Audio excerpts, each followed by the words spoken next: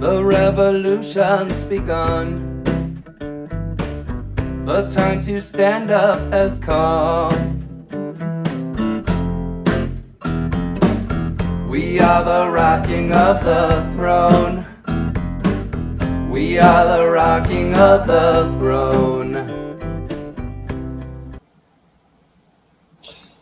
Hi, my name is Victor Tiffany, the co-founder of Revolt Against Plutocracy, and I'm excited today to be speaking with one-time Green Party candidate for president and last year's campaign manager for the Green Party candidate for president of the Green Party, David Cobb. David, thanks for joining me today. It's a pleasure to be with you, Victor. Thanks for what you're doing at Revolt Against Plutocracy. Yeah, well, there's a lot of work uh, still ahead of us, but before we get to that, I wanted to uh, I wanted to speak to you today about uh, criticism you've been getting from uh, a guy named Frank, and uh, the other guy's name was Litvin, uh, because you are uh, inviting rogue journalist Caitlin Johnstone to your program on the Green News Network and interviewing her.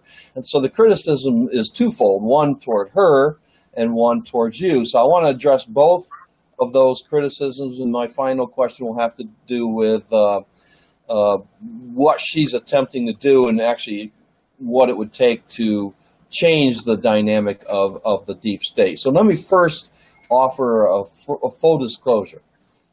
Four of my favorite writers are Glenn Greenwald, Paul Street, uh, Chris Hedges, and Caitlin Johnstone. So I have to admit right up front, I, I like, I don't agree always with everything they ever write, but largely I agree. And in the case of Johnstone, I just really admire her style. The other three write like a boxer in the ring, throwing hooks and glove, uh, hooks with gloves on and, and jabs and things like that. She writes like she's on the street and she's wearing brass knuckles. Uh, even recently, she wrote a piece uh, about John McCain's successful surgery, saying, "I fucking wish you'd die."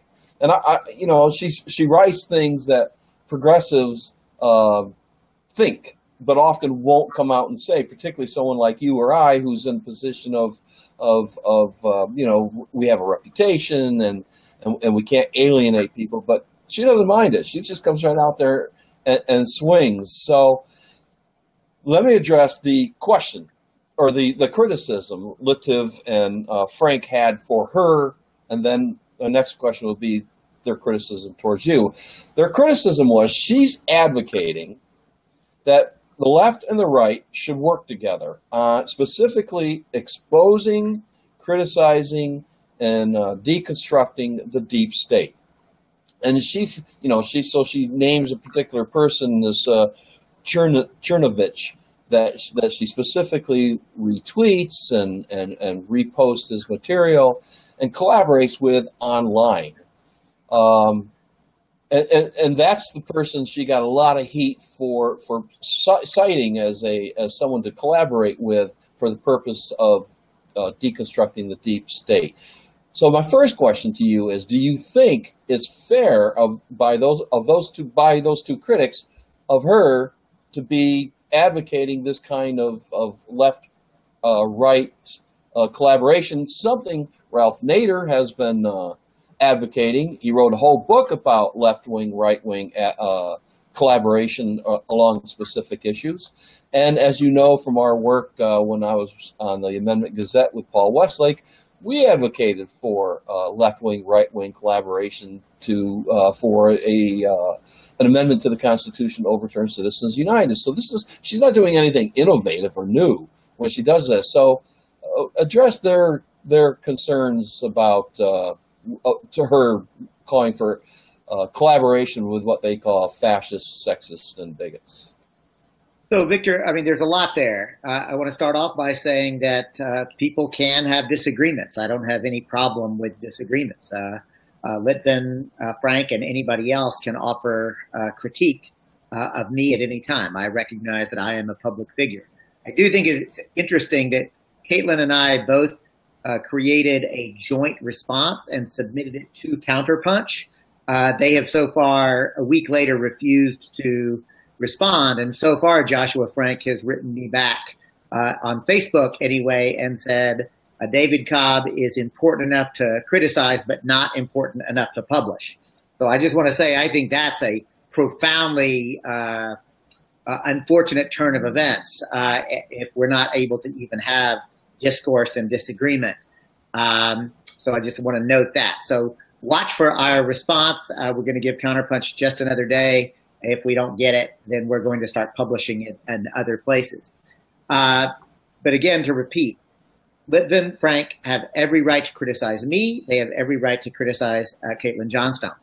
Uh, I personally think that the idea of talking to to principled conservatives, liberals, moderates, uh, radicals, this is a good thing. We should actually engage in that kind of conversation because what we're trying to do is actually uh, build a movement, uh, and there's going to be some disagreements. Now, I want to be very clear about this, Victor. I absolutely, positively, 100% uh, will not and do not want to collaborate with fascist brown shirts. I am not interested in in that quote collaboration. They are my enemy. I understand that uh, to be clear. I'm going to go even deeper. Like you, I profoundly respect Caitlin Johnstone. Her writings are sharp, uh, they're snarky, they're funny as hell, and the left uh, really needs more humor in its analysis and discourse. Caitlin Johnstone brings it and brings it hard and, and oftentimes with a belly laugh. I also have to tell you, uh, I had never heard of Cernovich uh, until uh, this sort of blowback and dust up. So I took a little time uh, to research it. I disagree. I don't want to work with Cernovich. Uh, I do find him to be very problematic. Uh, but I'm also not going to then turn Caitlin Johnstone from a, an ally into an enemy because I have a disagreement with her about one particular person. And I guess that's really the, the point that I want to make here, Victor, to your question. And, and especially if you're going to edit it. Here, I think is is the key. I don't agree with anybody 100% of the time. Hell, Victor, I don't agree with myself 100% of the time, right? Uh, and frankly, maybe I'm wrong. Uh, and if I'm ever wrong, I'm not doing it on purpose, right? So I don't get defensive. I also don't insist on the kind of purity uh, that Joshua Litvin and others, uh, or Joshua Frank and, and uh, Yoav Litvin, seem to be advocating. Uh, that road is a road towards sectarianism. It is the purity of the left, which, quite frankly, Victor, is the reason that most working class people, uh, you know, and as you know, I come out of poverty, not just working class, but I come out of poverty. Uh, you know, my family members uh, just basically ignore that kind of leftist nonsense. It is so much uh, sound and fury signifying nothing. So I don't uh, advocate in any way personally engaging with uh, Cernovich. Uh, the fact that Caitlin does is where we have a disagreement. But Caitlin and I agree 99% of the time. And since we are agreeing 99% of the time, I'm not going to let that one disagreement prevent me from having her as a monthly guest on Democracy in Action on the Green News Network. Uh, and uh, she will continue to be a guest. You, you basically just answered my other second question. I was about their criticism of, of you having her on. You basically just answered all all that basically. So let me jump to my third question, unless you have something more to add. Uh, no, I mean, uh, I, and again, I think uh, the the important thing to remember is if we're going to actually engage in real organizing, it gets messy. Uh, and as you know, Victor, you've seen me in action in public settings. You've seen me uh, in pool hall. Well, at least you've seen me a number of times in both coffee shops and bars, and you've seen how I talk to people. I'm always me, but I use a little bit different language depending on who the audience is, right? Uh, you know, so I am or an organizer in the real world where things can get messy and we have to listen to one another and look for the opportunities to build together. And that's something uh, that I am proud that I do, and I'll continue to do that. So let me ask about uh, taking her uh, desire to work with the left or the, the alt right, uh, whatever people are that. I thought I, I thought uh, Frank and, and Litoff were, were, unfair because of the uh, referencing the uh, resistance chicks, their their name, not something I gave them, uh, as as racist.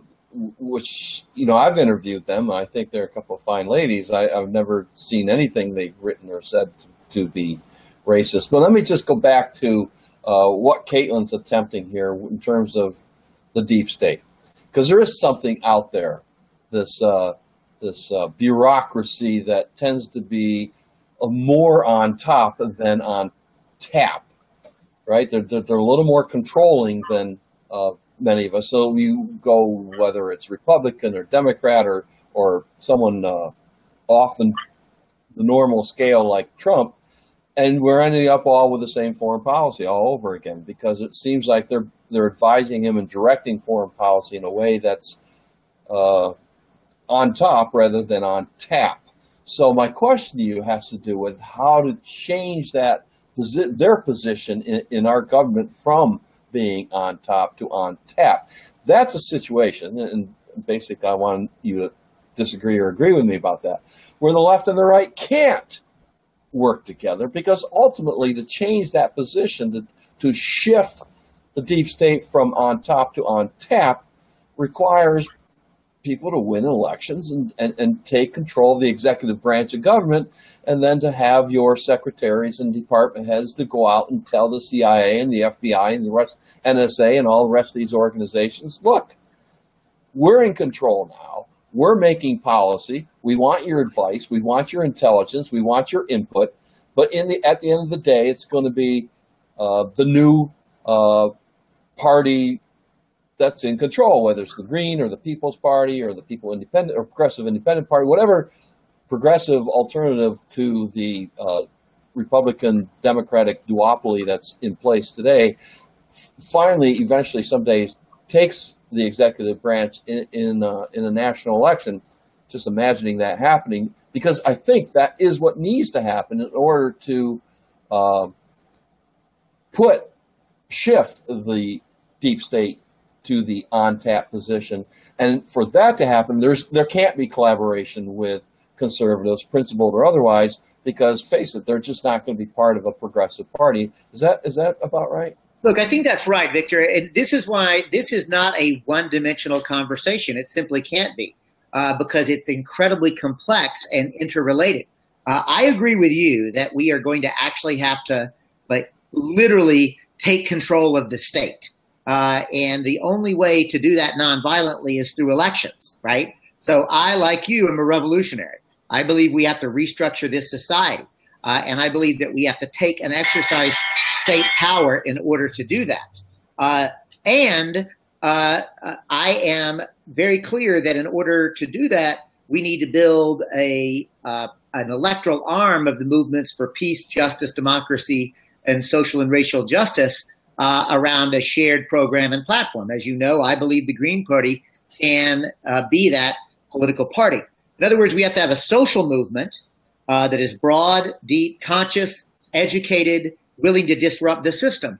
Uh, in that, in the social movement and in, in civil society, we can find those agreements. But when it comes to an electoral arm, literally, you're going to actually have to describe a, a, a coherent program or platform. And I don't think that you can actually build unity across the left and the right because there are ideological differences. And so at the electoral level, uh, where you control the state, uh, you're either going to have a progressive vision or, or a conservative vision uh, in control of the state. I certainly agree that there is something called the deep state. I think the deep state is, in fact, uh, controlling many aspects of especially foreign policy and uh, the FBI and the CIA and the entire apparatus of spying that happens both domestically to those of us in this country uh, and um, internationally. So uh, I guess I, what I'm going to get at is, and to say it again, I hope clearly and coherently, any uh, work together uh, with, with principled conservatives and principled liberals or progressives can happen in civil society. But when it comes to elections, there's not an opportunity to do that because you are in fact in contention for the to the for the vote and people in the current system get one vote and i'm trying to convince them to vote for the green party with our four pillars of a commitment to peace racial and social justice, grassroots democracy, uh, and ecology. So I don't actually see how it's possible to make that uh, uh, sort of left-right dynamic in the electoral context. It doesn't make sense. Four is that all?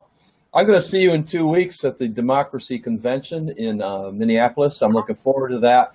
And I'm going to be describing in my workshop uh, 11 uh, principles by which we're going to attempt to uh, form a, uh, a congressional level strategy similar to what we did in 19, 2016. Boy, it was only last year. 2016 to put leverage on the Democratic Party, as we stated in our uh, billboard uh, in uh, Philadelphia during the DNC, nominate Sanders or lose in November. Well, they didn't nominate Sanders. I, I got to, because uh, I know it's difficult, uh, because you said that so casually, and I want to lift up the fact that I saw Revolt Against Plutocracy uh, that basically created the Bernie or Bust movement. You were prescient, Victor uh, you and Revolt Against Plutocracy were the first group that I heard making that case. Uh, you made it. You made it loudly, consistently, and frankly, you were prescient. There is no doubt that you were right. Uh, the corporatist militarists who control the Democratic Party and still do uh, were absolutely wrong. Uh, and I don't want you to just sort of casually, as sort of a prefatory comment, talk about the work that Revolt Against Plutocracy and Progressive or Bust did leading up to the DNC. I saw you on the streets of Philly. Uh, you were you were like a, a mini celebrity there, right? Uh, and I think that you earned that because of uh, the organizing and mobilizing you did with uh, Progressive or Bust that became Bernie or Bust. Uh, so you know, kudos to you. Well, I appreciate that. I mean, I hung around with Tim Black. Now, there's a celebrity. but uh, yeah, no, we're going to come back. We're going to try this again uh, with uh, something like 470 movements. That's 435 congressional districts and 33 states, whatever that adds up to. We're attempting to build a whole series of movements around the country based upon a specific agenda that's populist, that's progressive, and we're drawing a line in the sand again. It's going to be uh, these kind of contract signing Democrats or screw you, you're going to lose in November. That's that's the final uh, objective, and, and that's people say to me, well, how'd that work out last time? Actually, it worked out okay because we stopped, and this is one reason I really liked uh, Caitlin Johnstone because she agrees with us on this specific point. We stopped the most dangerous of the two dangerous candidates from getting elected to the White House, or at least we assisted with that with that stoppage. But uh, there's more to it than that. Again, it's more complicated because the vote counts in Pennsylvania, Wisconsin, and, and Michigan. But we were largely responsible for stopping Hillary Clinton, the extremely dangerous neoconservative, neoliberal uh, I mean, that, a, that, that the people rejected. Here, here's how I see it, Victor. Milicia Figueroa and I are doing movement schools for revolutionaries across the country uh, and I'd love to come up to upstate New York and do one, uh, where I know you live. Uh, it, our analysis is that we are living in a moment where neoliberalism is literally morphing into neo-fascism. Uh, that we are at a, uh, a crisis moment uh, that is very similar to the crisis moment of the 1920s in, across Europe, which of course led to fascism uh, and that that was happening at the time, basically when society and economics was being restructured from an agra- uh, agrarian, agriculturally based society to an industrial one.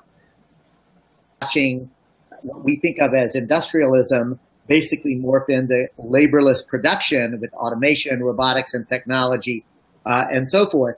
Uh, and so that's why we are in this sort of moment. And it's either going to, uh, like the the what they try to call instead of two poles, there are really three poles.